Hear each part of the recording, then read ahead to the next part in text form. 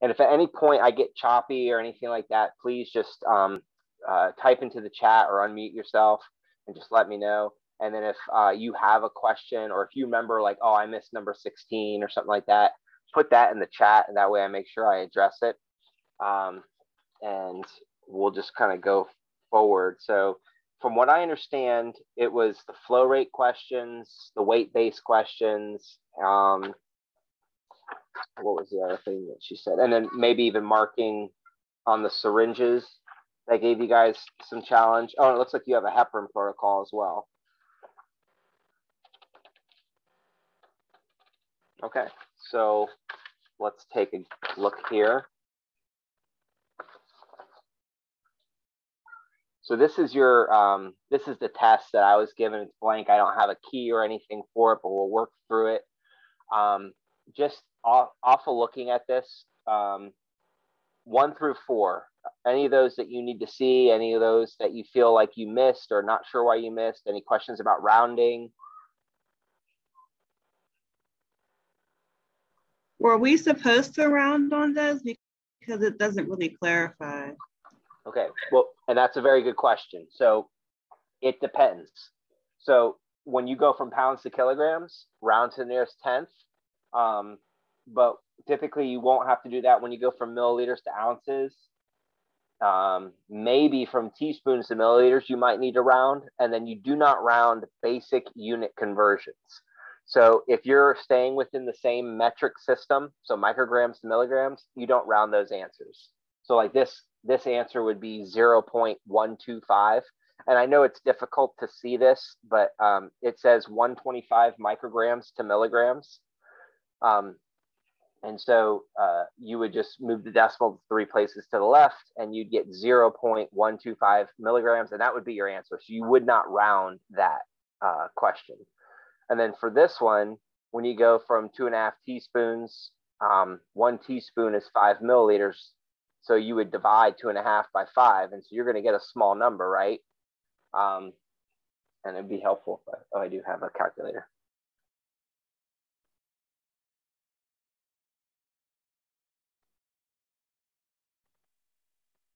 I'm sorry, you would multiply by five. That's, I am, I better write that out. I apparently need to wake up still. Post meal brain not working, guys. All right. So for this question where you have two and a half teaspoons, and we want to know how many milliliters that is, one teaspoon is five milliliters. So yeah, you would multiply. I don't know how you guys typically set up your problems. I'm just going to show you this via dimensional analysis and then you really wouldn't need to round this answer, right? Because 2.5 times 5, and you're going to get, if I can get my calculator out, 12.5, and you would just leave, that would be your answer, 12 and a half milliliters. And if you're already getting that, and these are pretty straightforward, that's why I just wanted to ask. So um, the 196 pounds would be an answer that you would round. So when you have 196 pounds divided by the 2.2, you'll get 89.090909 repeating. And so for that question, you're going to want to round to the nearest tenth in your final answer. So you would round that to 89.1. The only time, and that's kilograms, so don't forget your units. The only time you would not do this kind of rounding when it comes to weight uh, with weight is when you're doing like pediatric type dosages. Um, and then, but that's, you have a, a, specific class and you do specific drug calculations in that class in regards to um, pediatric dosages.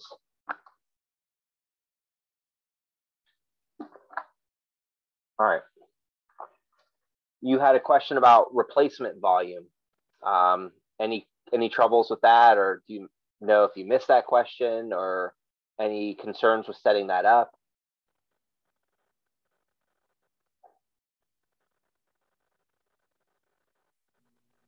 I know I didn't miss it. I've I've never seen a problem like that before though. Okay. Okay. So um, uh, let's see here. So the question states, and then I'll just work it out that way you can kind of see. Um, so I guess I should have also added. Um, so some of you, unless you've watched some of my recordings on the YouTube channel, you um, this is your first introduction to me, like doing these things. What I usually do is just kind of show you how to set these things up, and then I'll also ask like um, if you miss something i'll ask how you set up that question and then i'll show you where where you might be making a mistake so i can help you kind of navigate that. So if there's something you know or remember setting up or you just have no clue that's helpful for me because then i can kind of show you how i would set it up. Um, i typically show dimensional analysis um, but i can also show you ordered over have ratio proportion um, whatever you think you want to use um, uh, if you just let me know what you are trying to use, I will help you answer it the way you like to answer it. Because there's not one right way. Obviously, you want to get one right answer, but there's not one right way to uh, get to that point. So for number five on the urine output question, it tells us that for every 150 milliliters of urine output, we're going to replace it with 35 milliliters and we want to know what would the replacement volume be if um, we check after four hours and it's 450 milliliters that have actually lost. So with these urine um, urine questions, usually how I set these up is I start with um, I kind of created a formula for this. This is where I deviate from traditional dimensional analysis, and I'll say what was the actual output of urine over the theoretical output, meaning like what for ev- for the basically the replacement volume output, and then you just multiply it by the replacement volume, and that will give you your answer. So when I set this problem up, I'll take the 450 actual milliliters of output, I'll put that over the 150 milliliters of output and then times the replacement volume of 35. Now, the only way that this question can get, or this question can get tricky because they can change every single number. They can change the output, they can change the actual output, they can change the replacement volume, and they can even alter the wording of the question. But if you always take what was actually voided over what was the expected um, void times the replacement volume, you should you're in good uh, shape for setting this up. When you do this um, calculation, 450 times 35 divided by 150, and you get 105 milliliters for your replacement volume. And hopefully that makes sense. If your initial replacement volume was 35 per 150, and we basically did three times 150, right? So 150 plus or 150 plus 150 is 300 plus another 150 is 450. So you would expect that you're going to get three times this volume. So that would be another way to solve this is to just, um, you know, how many times does this go into the actual output? And that will also give you your multiplier for um, solving these types of problems. Um, any concerns with like uh, calculating tablets? Like the um, the next question. This were there two questions for five? Anyways, um, it says atenolol 75 milligrams. Each tablet contains 0.05 grams. How many tablets will you prepare? Any questions on setting something like that? That's doing your ordered over have. Um, but if, if you're not sure about it, just let me know. Or if you're good, just give me a thumbs up or we're good or no. I'm okay with it. Okay. Okay. You guys are second semester, correct? Yes. Okay. And Natasha, I see your thumbs up. Thanks. I actually didn't know that was a thing. I I was just kind of joking that uh, give me a thumbs up. I didn't know that was um, actually on there. So, okay. Um, so let's get into the ones that were probably a little bit more challenging. Um, let's see here. All right, let's look at the syringe question here. So there's a syringe here, and again, it's, let's see if I can get a little bit closer and you can see it a little bit better.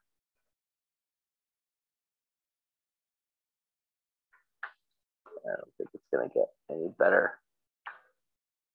But the syringe is, um, is in milliliters. It's a three milliliter syringe. And then you can see half, one, one and a half, two, two and a half, and three. And then you have your tick marks in between. Um, if you're ever wondering, like, are these, you know, 0.2 or 0.1 milliliters, just count. So if you go here, you can see one, two, three, four, five. So 0 0.5, 0 0.6, 0 0.7, 0.8. So you know this is down to the point to the tenth of a milliliter. So that helps out when you're marking these syringes. Keeping in mind this big line down here is your zero mark.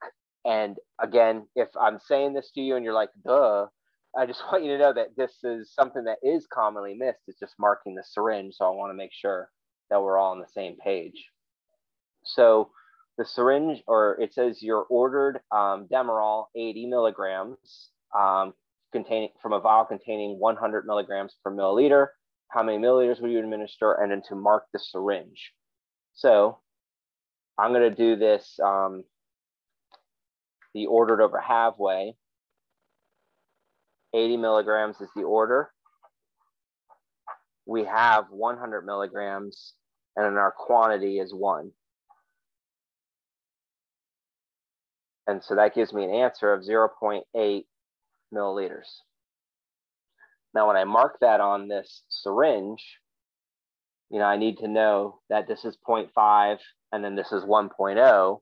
So from 1.0, I would just go back to 0.9 to 0.8 and make sure I put a line at 0.8 or I put a, um, uh, sometimes they say to circle it, sometimes they say to mark it, but right here is where 0.8 is located, 0.8 milliliters. And see if I can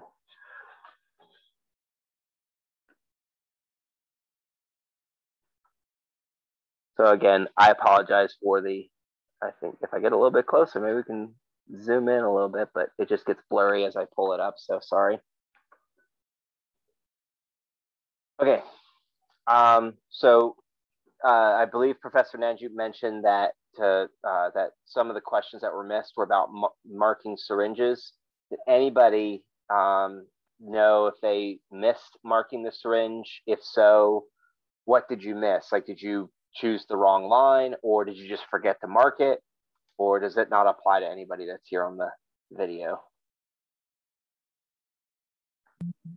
i know i i think i was so nervous i didn't didn't see that ours was a one ml syringe so i just marked the wrong line okay so you so you know where you messed up and um and you'll and so uh, that that's part of the issue a lot of times is you make that mistake and you're like crap and then you and then you fix it the next time. So um, okay. Whitney, did you have anything more to add? I saw you on. Um, yeah, I was told I missed the a TB syringe, but I don't I don't think this one's it. Um, yeah, I um, missed the TB one too because I saw that there was a zero at the end of the TB, and I was like really confused with that one. So I think it's like a different one. Okay, let me see. Yeah. I haven't seen my my exam yet. Um, oh, okay. I guess I'll see it tomorrow. One of the tutors said we're not allowed to look at our exam, so she didn't show me. So, okay. yeah. Sorry about that. it's okay. All right. Yeah. So you guys had like a tuberculosis um, syringe. Yeah. The only other syringe I have on here, other than uh, insulin, is like an, an MMR booster. Oh yeah, so that's the tuberculin. There we go. Oh, okay, I see. This syringe does look a little bit different. So, um, all right, so maybe you guys can help me out. Okay, so these are not mLs. These the big numbers, the 16. I'm gonna see if I can get my camera to zoom in on this. Uh, but I think these numbers down here are these mLs down here. This is a one ml syringe, and that's 0. 0.1, 0. 0.2, 0.3. Is that correct? Yeah, so Yeah. it's supposed to be that 0.50. That's where it's Okay. supposed to go. Okay. And then what were what do you know what some of you did? Like, what did you yeah, so it? I put it at the half. So I put it at like the 0.05. Okay, So right here. part, yeah. That's okay. what I did too. yeah, because this kind of you're I see what you did wrong here because it looks like it's a 10. Yes. Um when I get I I understand what you're saying. So okay. Yeah, so that looks like a 10, but clear there's definitely a 1.0 there. And so and then look at those. Yeah, I, I agree with you. This is just a uh it was just hard to see it. So you were probably sweating in your eyes and and flustered over the exam and just quickly went through it. And so okay, you won't make that mistake again then. I think that was probably happened to a lot of you if you missed this question. So sorry about that, guys. Are the oh you may not know. Are those trailing zeros on an actual TB syringe?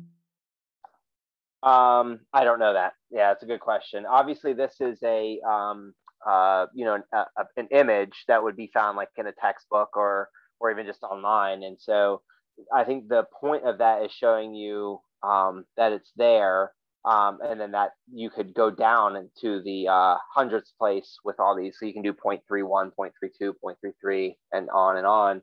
So uh, that's a good question. I'm not entirely sure how it would actually look like if I would say if you wanted to know that, to just do a Google search, uh, a Google image search for a tuberculin syringe, a one milliliter tuberculin syringe, and just see what you find.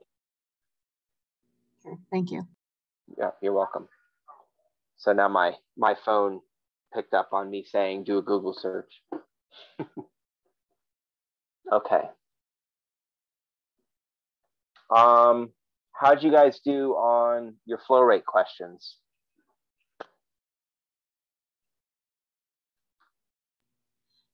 I know I did okay. The only confusing part is um, how it says on 23 electronic infusion pump. I guess we were, well, I guess that one says milliliters per hour, but um, other ones it didn't mention that. So I guess we were just supposed to know that it has to be milliliters per hour. Okay, that's a good question. So um, that's actually a very good question. So typically, now I know that there can be differences in what I'm about to tell you, but typically, flow rates are going to be one of two things. So flow rate is just a measurement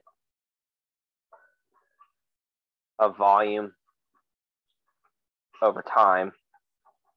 And what it seems to be is, at least for nursing, that standard is milliliters or cc's per hour. The other flow rate you'll get is your drop rate, which tends to be in drops per minute. And those are the two flow rates that I'm most um, familiar with, and most likely you would most likely be dealing with. And whenever they say rate, they're talking about volume over time, milliliters per hour. I don't know. I don't even know if you can program into most infusion pumps milliliters per minute or you know any other increments. I, I would assume it's either milliliters per hour, and if they're on a uh, like uh, getting like a, a drip, that it would be the drops per minute. Um, so yeah, so you're saying like if it didn't tell you milliliters per hour, how would you know that? Um, I'm assuming you're supposed to know that um, any of the flow rates, like here.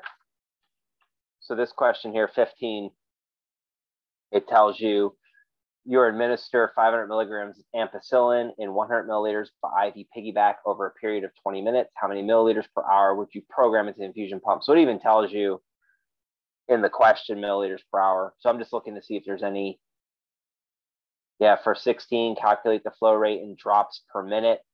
Um, so the flow rate is yeah, even some of these things are like this, this right here is written wrong. So this should actually be drops per minute, not drops per milliliter. So some of this is, um, it, it asked the right question. It just gave the wrong um, thing in the, in your answers here. Do you want to, would it be helpful if I went through a few of these flow rate questions? It doesn't take long to go through them. Yeah, I think it'd be good to like just review. You got it.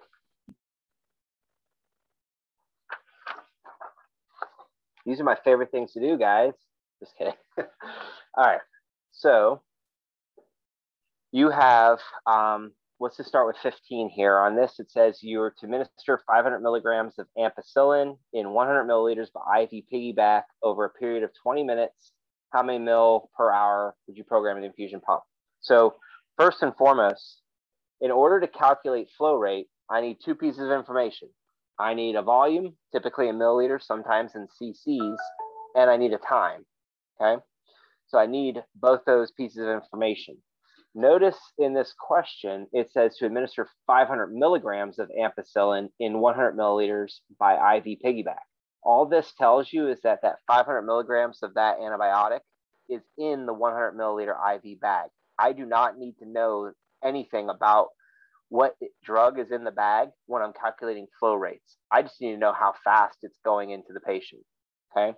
So I always use the example. Let's say we're we're all leaving our home for, or we're all leaving North Campus and we're going to drive to I don't know what's close over there. Um, I'm sure you guys know where the Dairy Queen is on 19. So let's say we're going to go to the Dairy Queen. Um, the question isn't how you got there. The question is, you know, how long is it going to take you to get there based off of the speed you have to go, like 35 miles per hour, stop, you know, traffic lights and all that kind of stuff. That's the question. It doesn't matter what you're driving, Honda, you know, Maserati, whatever you got, it doesn't matter. We only care about the volume and the time. So 100 milliliters, 20 minutes. Now, if it had asked you milliliters per minute, we'd be done, but it says to calculate milliliters per hour. So there's two ways to do this.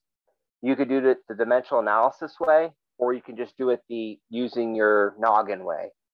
If in 20 minutes, 100 milliliters will go by, 40 minutes would be 200 milliliters, 60 minutes or one hour would then be what?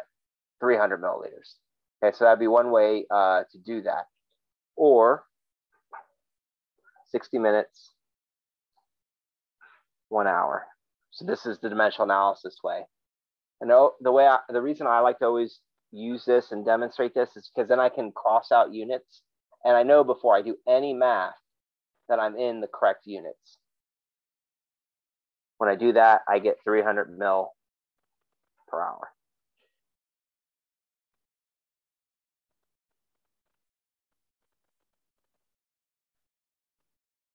Now, as I go through and start doing these other ones, just stop me if at any point you want to see something or if you have a question or why I did something a certain way, just let me know. For 16, 16 says you have a liter or 1,000 milliliters of Ringer's lactate IV in 10 hours. So there's your volume, there's your time. And then they calculate the flow rate in drops per minute if you have a drop factor of 20. Okay. So let's do that. So now I didn't tell you all the ins and outs about drop rates. Drop rates need two pieces of information. We need to know the flow rate. We need to know the drop factor. Those two pieces of information will give me the drop rate. So like in this previous question with the 500 milligrams ampicillin, it would that same philosophy of it doesn't matter what car you're driving, we're all getting to, to Dairy Queen. It's the same thing here. Okay. So flow rate is going to be in volume over time. It will sometimes be in hours. It will sometimes be in minutes. If it's in minutes, great. That's exactly what we want. If it's in hours, then we need to convert that to minutes. Drop factor is always going to be drops per milliliter and then your drop rate is always going to be drops per minute.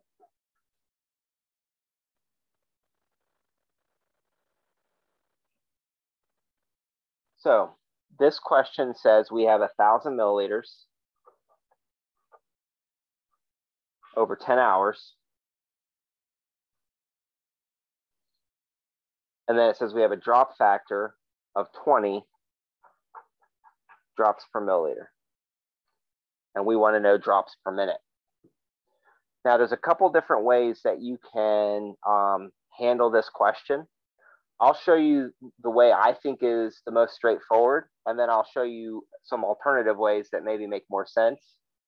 So one of the things I would do is I would just reduce 1,000 over 10, and I would do that just by dropping the zero. So it would be 100 milliliters per hour. Okay, one hour is how many minutes? 60 minutes times the 20 drops per milliliter. And then I would just multiply across, divide by 60, and get my answer. Or if you feel comfortable, just reduce 20 over 60 and then also get your answer. Um, the other way you can do that is you can just kind of take that 10 hours and you know that there's 60 minutes in an hour. So 10 times 60, and that would give you 600 minutes. And then you can just do 1,000 over 60 or, or 1,000 over 600. And that would be another way that you could set up this problem. But I already have this set up here. So let's do 100 times 20.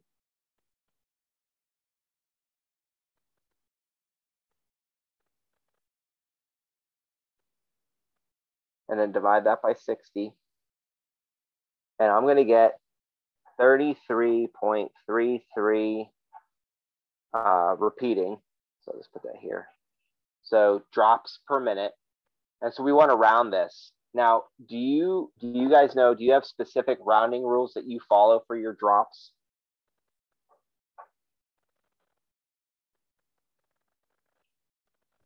They just said to make sure it's always a whole number. Okay. And that's exactly what I tell the Allegheny students, make sure it's a whole number. Um, and so what I would do is I would just look at the 10th place and then just if it needs to uh, like this three isn't uh, is less than five, so you're not going to round this up. So this would just be 33 drops per minute. I do believe that if this had said 33.5, that you would round that up to 34, but I would confirm that with um, with your instructor just to make sure that that's what you're supposed to do. But anytime someone says rounding, um, there's typically a component of either leaving it the same or rounding it up. in reality, when you're working in a hospital or clinical situation, you may not even be able to program 33 into the infusion pump. It might be a difference between either 30 or 35. But I always say when you're in the CCAC math bubble, when you're doing these things, sometimes the actual clinical applications will vary.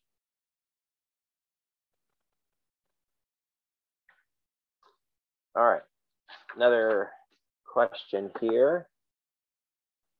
This question says that the patient is to receive 700 milliliters of normal saline over five hours. And what would you program the infusion pump to? Believe it or not, this is a commonly missed question. And the reason it's commonly missed is because many students are looking for more to do, meaning they're looking for what to multiply it by, what to, you know, convert it to, and that, that just doesn't exist. All you're gonna do is 700 divided by five, which gives you 140 milliliters per hour. And that's your answer. I've seen over the years that that is a commonly missed question. It's, I would say more often than not, that's a missed question. So yeah, I think I missed something like that. And and that's a, and so don't don't uh, uh, don't be embarrassed by that because, like I said, it's commonly missed because so so many students are like, well, what do I do with this? Okay, I guess I I, I don't know. There's something missing, and you assume that maybe they did, forgot to put something into the question, and it's just that it's just reduce.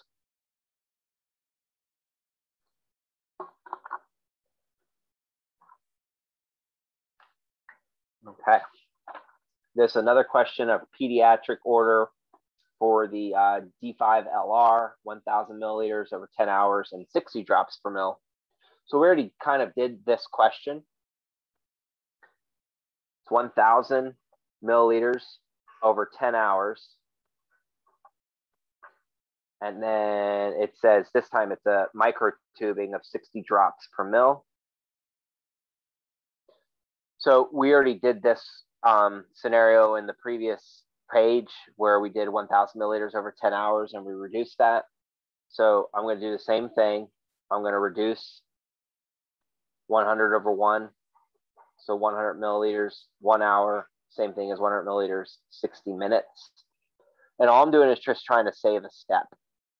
Okay. And I'll, um, I'll show you the dimensional analysis way to do this question as well um, in just a second. But I'm just trying to show you how I do this stuff.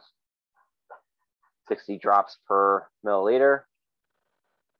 Um, we get rid of milliliters, we're left with drops per minute. These 60s will actually cancel out. And so your answer for this question is 100 drops per minute. Of course, all this stuff makes perfect sense when you're looking at it and, you know, uh, and someone's working it out for you. I know. Um, and uh, my my hope is that I can at least give you some strategies on how to set some of these things up. Um, just so you guys know, this is like I, I, haven't reviewed this test previously, so this is all. Um, I got it a couple hours ago. I printed it off, and then this was the first chance I got to look at it.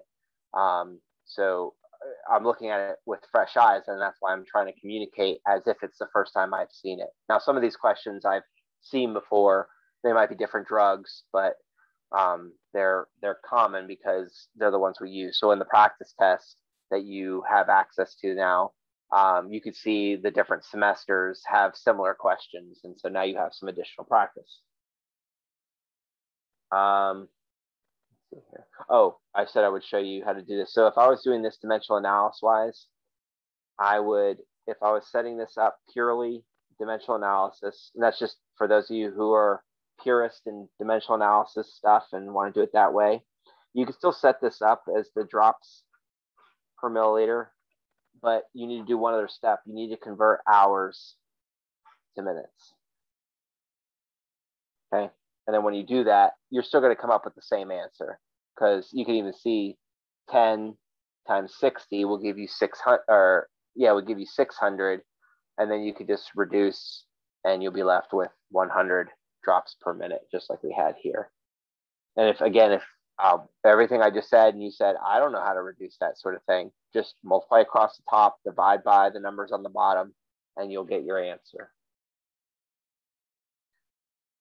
Um, how'd you guys do in this uh, heparin protocol? There's a lot of steps in here. Um, I didn't do good because I didn't have the mLs on my test. You mean so like I didn't the... have number two, that whole bottom part, like the see how you have yeah, number two. That wasn't on my test. Oh, you mean like where it tells you Yeah, like oh. that whole part was blank. So okay. Yeah, you need that. unless unless they're telling you to uh memorize it um, but yeah, I guess to my knowledge, you need to know that. Or, I mean, you need they, to be given that. They so. corrected it for everybody else after. Oh, okay. Well, sorry about that. That stinks. I don't know what to tell you. So, but um, yeah. Uh, well, if it helps, at some point when you practice these enough, um, this has always been the same. I've not found a heparin protocol that deviated from what's what's written here. And notice that they actually took out some of the steps um, like there's actually there's 10 yeah, there's 15 total steps and they actually took out steps six through nine they are five through nine they probably could have even taken out steps three and four um, and left you know 10 there but anyways um, on if you go on to the practice tests that I've created, I actually have four questions that I ask you. Two come from the initial, and then two come from doing an APTT. Um, and um, the other thing is when you do the um, when you look at the practice tests, and then I've also uh, written these out on the YouTube channel as well. So if you want additional practice, but we'll go ahead and we'll go with the patient's weight here. Now I will say this: the only thing that can really be changed in this question is the patient's weight and then what the APTT is if they ask you that question. Now this one and this one doesn't ask you about the APTT, so we'll um, we'll go ahead and work this one out as it is, and then I'll show you how I would solve it and see if we all come up with the same answer. So, oh, new piece of paper.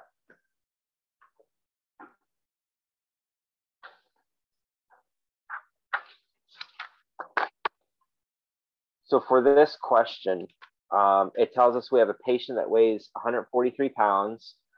Um, then it tells us we need to calculate how many ml to uh, bolus the patient with, and then to calculate the infusion rate to start the patient on. Um, the bolus says that it's we're going to start with 80 units kilo, per kilogram body weight, and then we're going to start them on the drop or the drip rate or the uh, infusion rate of 18 units per kilogram per hour. Um, and then what was missing on, I think that was Natasha was talking, uh, heparin, the 25,000 units and 250 ml, half normal saline. And then the bolus dosage strength is 1,000 units per milliliter. So I actually need all that information to answer this, but we're going to take it stepwise. So step one is we need to know what the patient's weight is in kilograms. So we're going to divide by 2.2.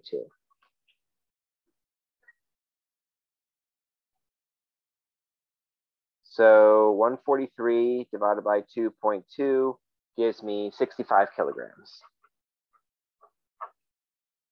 Now this might vary, but I will say if you ever get a decimal answer, like let's say we use that initial um, question that we started off with, uh, 196 pounds, and that was 89.090909 um, kilograms. I would, if it were me, I would round that to the nearest tenth right then and there. Um, I do believe that if you do your rounding at the end, it should still come out the same. Um, but if uh, so, I would always just say just confirm what your instructor wants to do. But like when I've created keys for tests, I typically will um, round the kilograms uh, to the nearest tenth and then factor it into the problems themselves. All right, but this one you don't need to worry about rounding.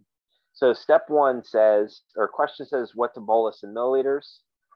Patient is 65 kilograms, and we're gonna uh, multiply that by the 80 units per kilogram.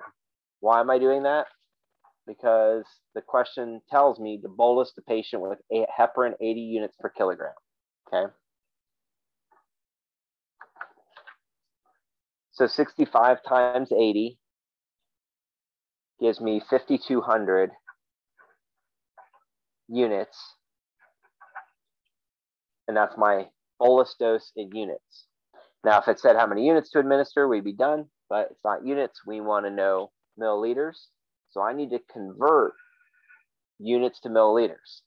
I can do that because in my protocol, it tells me my bolus dose strength is the 1000 units per milliliter. So the way I envision this, because I haven't actually seen this in you know reality as far as how this is all set up, the 25,000 units and 250 milliliters half normal saline, that's the IV that's connected to the patient. And then when I want to push a bolus dose, it's going into a um, into like a port or something into the side there, and you're pushing that bolus dose into the patient while, and then we're setting this infusion. I, I'm hoping that as you guys are in the nursing, you know, uh, in nursing school, and this all everything I said, other than maybe the language being completely wrong, is what you're envisioning as well. Or maybe you haven't seen this yet, so everyone's um, mileage varies as far as what uh, clinicals you've had so far. Anyways 5200 units. There's a thousand units per milliliter. Okay?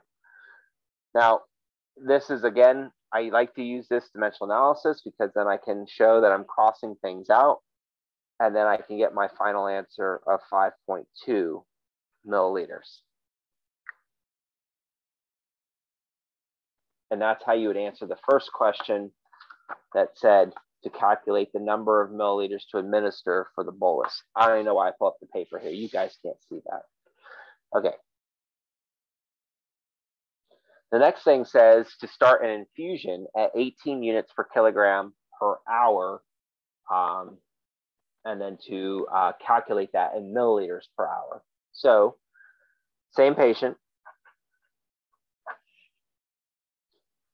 Now the 18 units kilogram hour.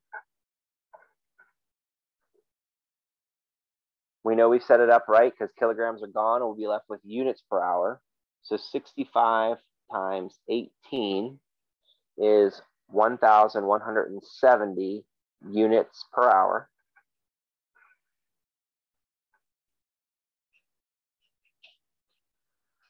We need to convert units per hour to milliliters per hour. So I need, I'm hopeful that I can find something that'll allow me to convert units to milliliters. Now, there are two things that will allow me to do that.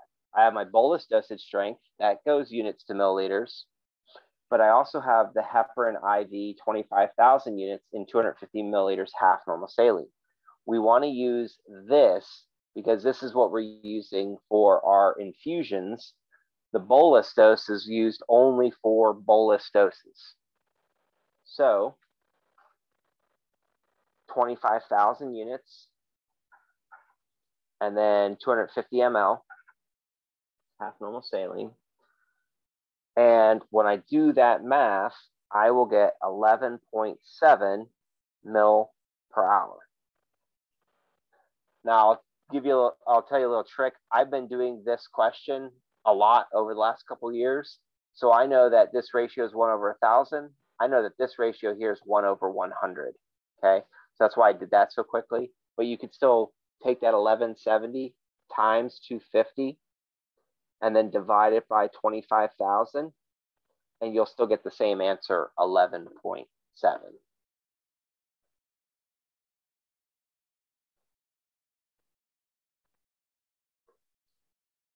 Now, if there was another question, and let's say it's the same patient, same weight, and let's say they had an APTT of 43 seconds, then you would look in the rest of the protocol here and just look at, okay, under 35 seconds, between 36 and 44, between 45 and 75, between 76 and 90, greater than 90 seconds, then you would just do what it says here.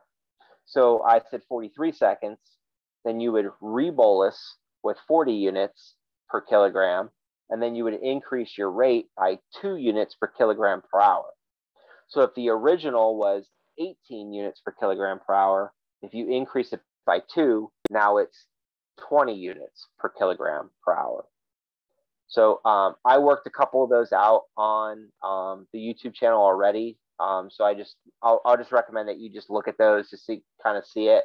And every review session I do for every um, for the third and fourth semesters at Allegheny County, they always have these heparin protocols. And so you can see me go over it pretty much uh, multiple times, sometimes the same way. And then I've also done individual videos of just the heparin protocol. Okay.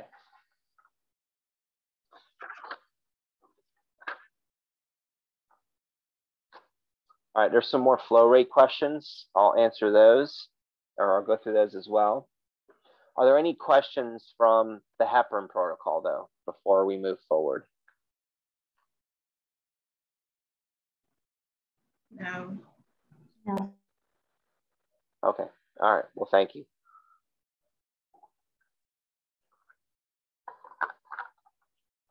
Okay.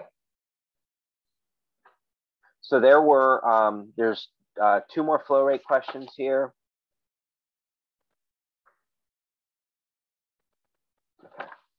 Yeah, there's too many, uh, two more flow rate questions here. First one says um, you have cephalothin 750 milligrams in 50 ml normal saline on an IV piggyback to infuse over 30 minutes. And then we want, uh, okay, so it says a drop factor electronic infusion pump and then the, it says flow rate milliliters. So my guess is that we're supposed to calculate drops per minute for this question since it says electronic infusion pump um, with the drop factor. Do you guys happen to know what the drop factor is for an electronic infusion pump? I think for that question, we're looking for just milliliters per hour because it's a electronic infusion pump.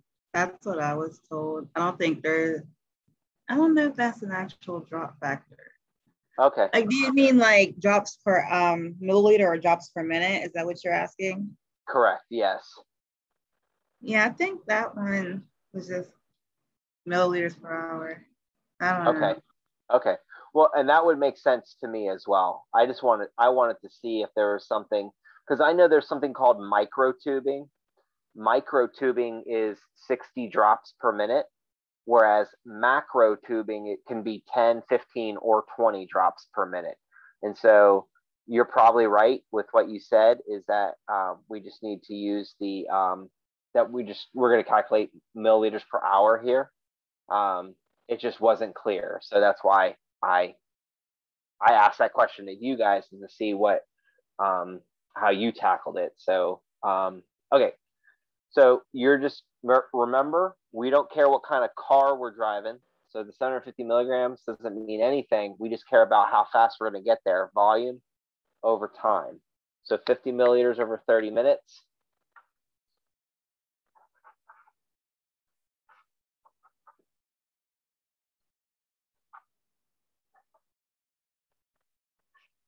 and I'm just showing you the dimensional analysis way, and then you'll get um, 100 mil per hour.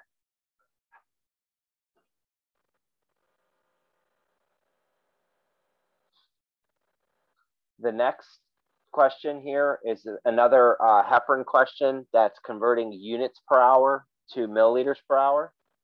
It says that you have 25,000 units of heparin and 500 milliliters D5W to infuse at 800 units per hour what would be uh, at what rate would the electronic infusion pump be set? So yeah, it looks like it's like you were saying, it's the um, milliliters per hour is what they're saying.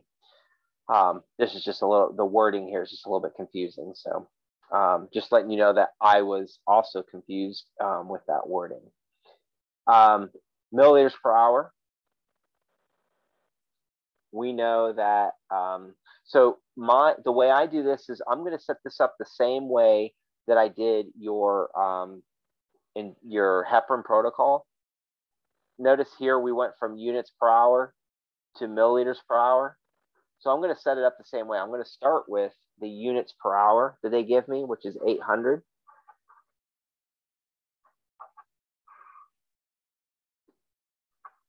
Okay.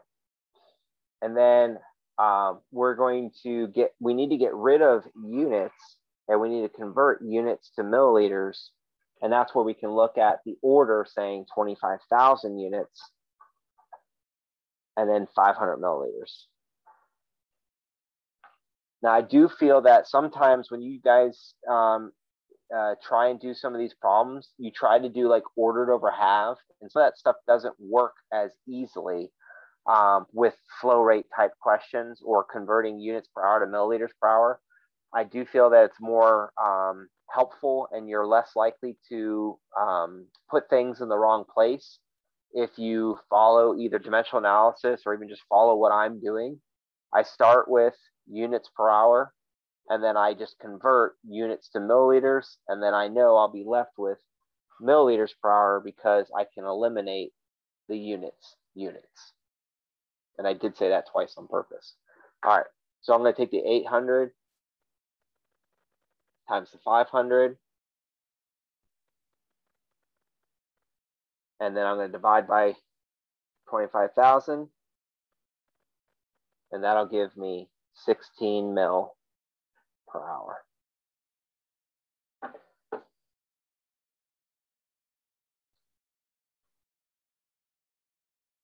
So those are the flow rate questions.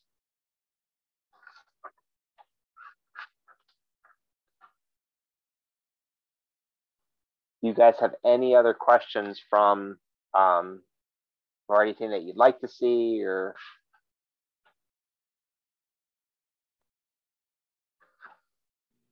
Were there any reconstitution questions on the practice test you had?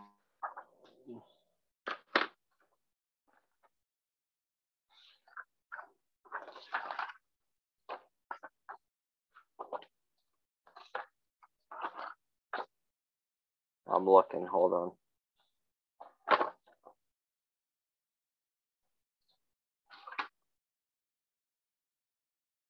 No. Okay, thank you. You're welcome. Yeah, and so um, sometimes you will see those questions. I'm just looking here.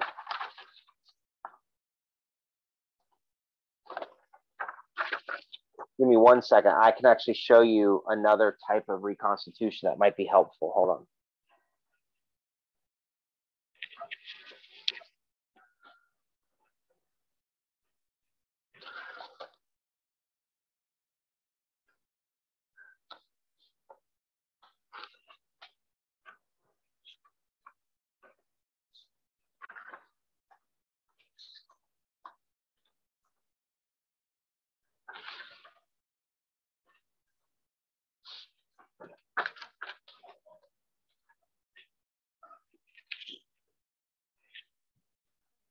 Okay. So I'm just pulling up um, another practice test that I have here that has, it's a Pfizerpen question. This is a reconstitution type of question. I'm gonna try and bring that up a little bit.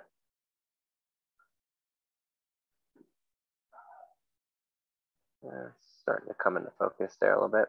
So it says the order is 350,000 units every six hours, and then use the information below. Choose the strongest concentration. How many mil would you administer? And notice that there's two columns there. There's a milliliters diluent added, and then there's a units per milliliter solution.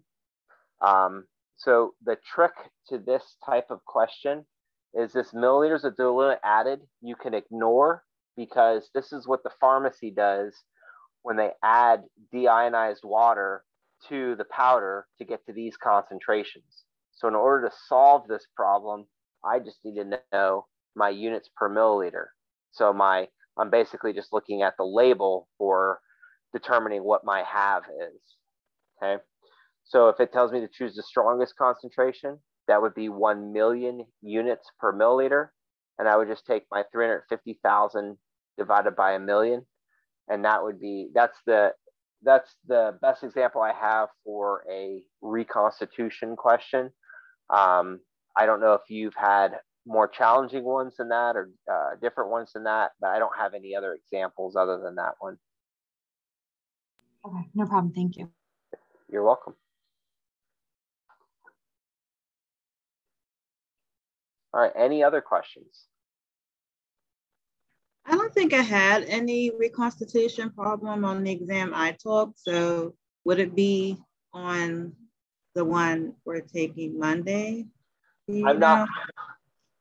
That's a good question. I'm not anticipating that because um, I was told that your your test should look similar to what you had, and then I don't uh, see that as like on your questions. It says you have household conversions, metric conversions, intake and output, simple one step dosage calc problems, IV calculations for drip rate, drip factor, and electronic infusion pump, milliliters per hour. Then you have heparin, and then insulin administration and syringe questions. So I don't see that um, that there's an additional. Uh, I don't even see reconstitution listed in that list of questions there. Okay, thank you. You're welcome.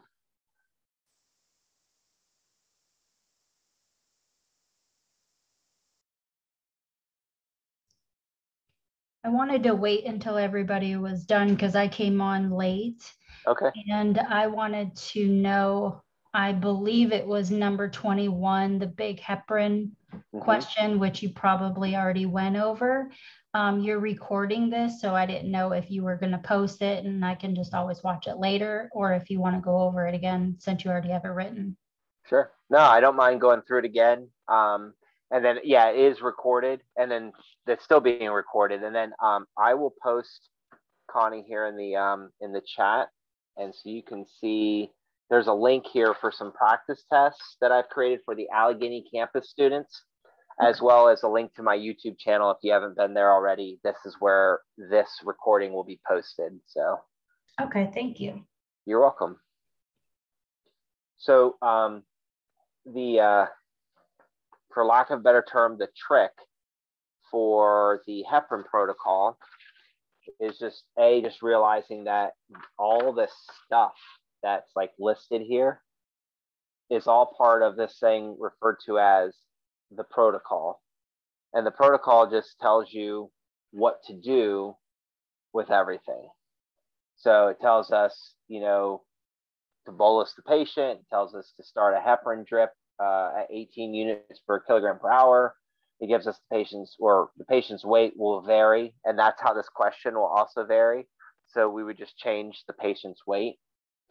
Um, then uh, we're going to answer some questions about the um, heparin protocol by saying things like um, calculate the number of milliliters for the bolus and calculate the infusion rate in milliliters per hour um, that we would program in. Then there's the additional thing is they could ask questions about the after six hours, they recheck the APTT, and then you would see a time associated with that, and then you would just do whatever it says in the second um, in, the, in the box here. So if it says to rebolus, increase the rate, decrease the rate, you just follow what it says to do here. And then if you go on the YouTube channel, I've worked through a bunch of these variations with the um, 40 units per kilogram and the two units per kilogram per hour increase. Um, and then I, I'll re- I'll go through this question again and I'll just do it fresh. And then that way um, you get the benefit of seeing it again. Uh, in fact, um, what I'm going to do is, so this was, this was the um, 143 pound patient. And so we have the different weights or the same patient weight. This first steps here, I took 65 times 80 to get my um, uh, bolus dose in units. And then I converted um, units to milliliters. And I got that conversion by looking at step two of the protocol, where it tells me the bolus dosage strength is 1,000 units per milliliter. And I know you can't see this paper, um, but that's why I've been trying to write everything out in the marker and everything that shows up a little bit better.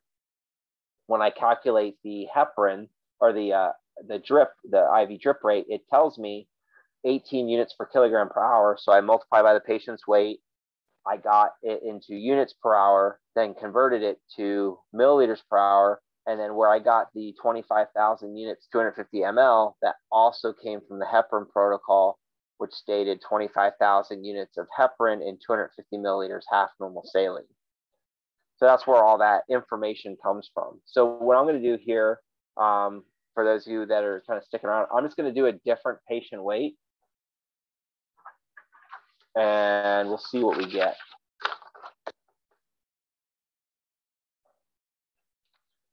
So I'm going to try, um, let's just say 178 pounds.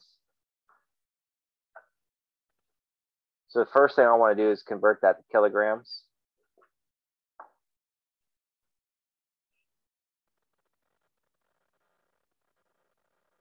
So 178 divided by 2.2 it gives me 80.90 9090 repeating. So all I'm going to do is just round that to 80.9.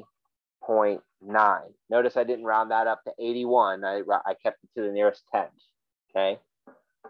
So now I have 80.9 kilograms. So step one, it's or the first question is calculate the bolus, and we have to do so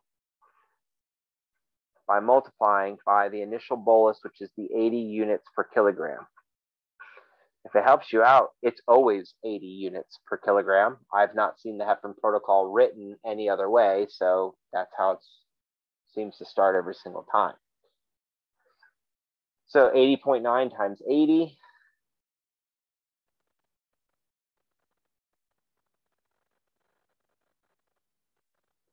gives me 6,472 units. I just want to see something real quick.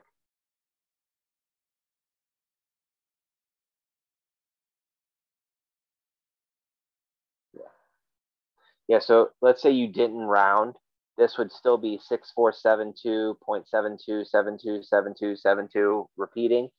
Um, so just keep that in mind. And then that's your bolus there? Well, this is your bolus in units. Now we need to convert units to milliliters.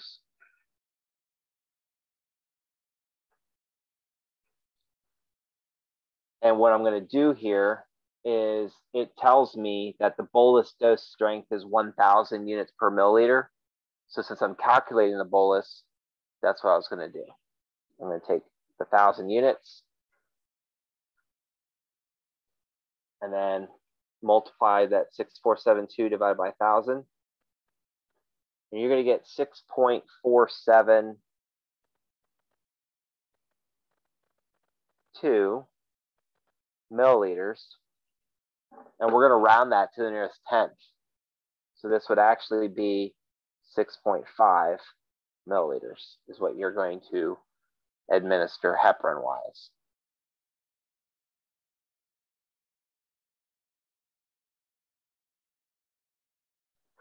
Now for the um, calculating the heparin drip, because it tells us to do 18 units per kilogram per hour, I'm going to take the same patient, same weight,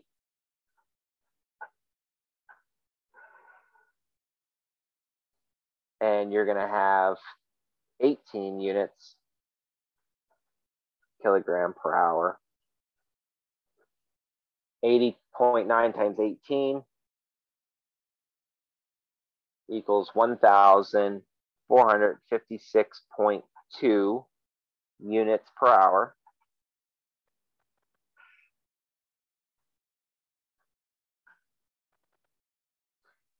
I don't want units per hour. I want milliliters per hour. So again, I'm going to go into my protocol and it tells me heparin 25,000 units in 250 ml half normal saline. So I'm using this and I used this example um, earlier in the recording. I said, you know, here's your patient. They're in bed. They're connected to an IV. The IV has the 25,000 units of heparin with the um, in 250 milliliter half normal saline. And then there's like a port that you're going to put the um, bolus into as needed. So your bolus dosage, so your bolus dosages, you want to use the 1,000 units per milliliter. Your IV, you want to use what's uh, available in your uh, 250 ml half normal saline and that helps us to differentiate what goes where when we're doing these different calculations. So 250 um, or the 1456.2 times 250 divided by 25,000 will give me 14.562. And then again, you would round this to the nearest tenth and that would be 14.6 mil. That's per hour. Sorry, I didn't say per hour.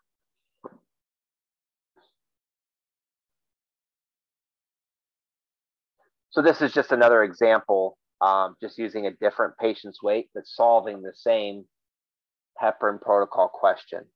And again, I've solved the heparin protocol a number of different times on my YouTube channel, I just uh, recommend that you go ahead and check it out there and see um, other examples. And then if um, um, if you want to try different weights, your weight, friend's weight, parents' weight, uh, significant other's weight, what, whoever's weight you want to use a fictional weight, um, and then just plug it in. And then if you want to make sure double check your answers, you can always send them to me, and I can um, let you know if you got that right or not. And I'll put my email in the uh, chat as well.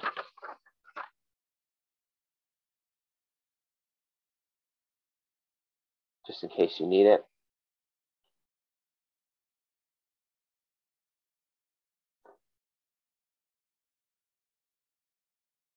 Okay, are there any other questions? Anything you want to see worked out? Um, we pretty much, because um, Connie, like you said, you came in a little bit late. Um, there uh, I, we went through all the flow rate questions that were on uh, this this practice test here or this mock test um, and then um, talked about marking the syringe we talked about i guess there was an issue with the tuberculin syringe that it was one a one milliliter syringe not a 10 milliliter syringe and i think some people may have missed just because of the thinking it was a, a 10 milliliter, not a one milliliter. So, yeah, the other ones that, which I think that I'm good on now, the ones that I missed were I was confused about the electronic pump. Okay, yeah. And I was a little bit confused about that as well, um, just because the way it was worded, I wasn't quite sure um, what they were looking for.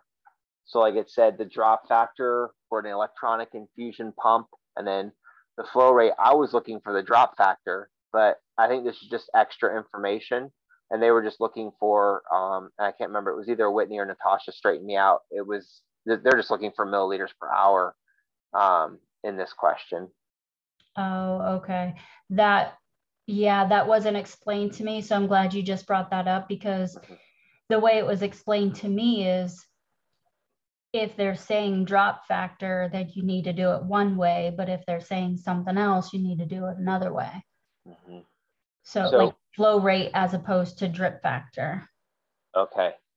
Well, in order to, well, drop factor is just tells you what the tubing, um, mm-hmm. how many drops per milliliter the tubing allows. So if it's micro tubing, it's 60 drops per milliliter.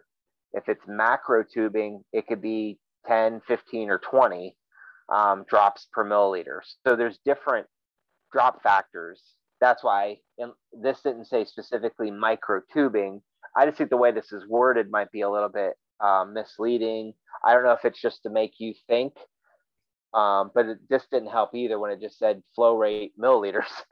it yeah. should have said either flow rate milliliters per hour, or if they wanted you to calculate the drop rate, you would need to know what the drop factor was. You can't just guess you need to know yeah. what it is. Yeah. Yeah, I didn't know if they were looking for milliliters per hour or milliliters per per minute. Like I had no idea.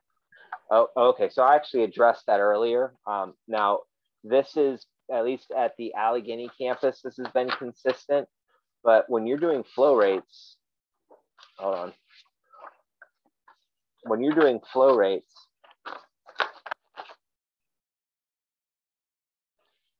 typically it's volume it's it is volume over time and then in nursing it tends to be milliliters per hour or drops per minute.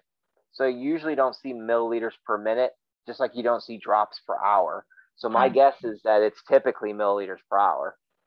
Yeah that's what i was saying. That that is how they explained it to me that if it's a flow rate it's always milliliters per hour and if it's a drop rate then it's always drops per minute Okay.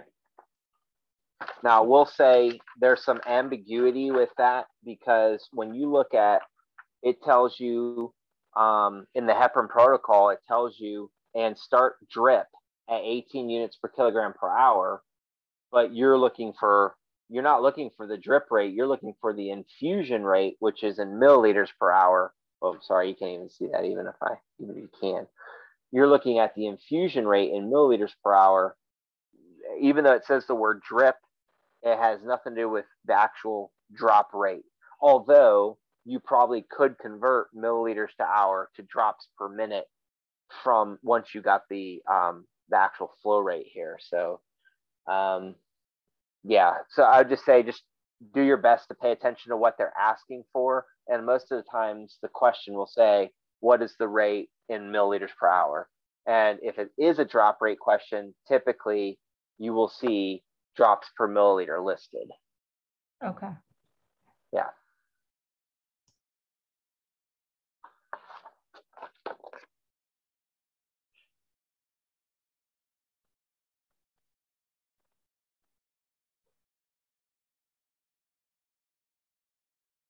All right, any other questions about the test, about um, how to work some of these problems?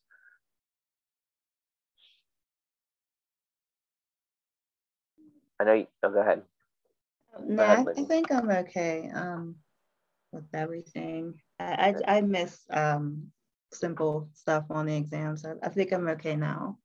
Okay, and what I would recommend, Whitney, is just practice, practice, practice to the point where you you're not going to make those silly mistakes. You know, when you retake it. Obviously, you don't want to um, you have to pass this. So you want to make sure you just practice it. And if something comes up and you get hung up on a question, if you do some of these practice questions that I've shared with you, um, just email me and I'll um, I'll try and help you out as best I can. Okay, I will. Thank you. You're welcome. And you said this is going to be posted on your YouTube channel? Correct. Yes. So I, I posted that link in the chat. Did you get it? I did. I already pulled it up. Okay, but cool. My other question is I pulled up the other thing too, the practice test. Mm-hmm. Um, there's a lot list. I don't want to say a lot, but there's some listed here. Um, should we look for the NUR 220 230 practice test? Because there's yes. some, you know, early dates, but I just want to make sure I'm going to look at the right one. There's yeah. So, yeah, I would fo- like, I think I made, um, well, there's one's in Word document, one's a PDF. Yep. Mm-hmm. Um, mm-hmm. and so they're both the same. So, oh, okay. um, yeah, so just uh, whichever one is more convenient for you to open, just use that one. Um, but yeah, the 220, 230 test is the one that you want to look at.